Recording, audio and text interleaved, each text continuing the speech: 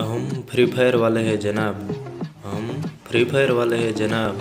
हम घर में घुस के टीममेट को बचाना भी जानते हैं और ज़रूरत पड़ने पर इनमी को ठोकना भी जानते हैं।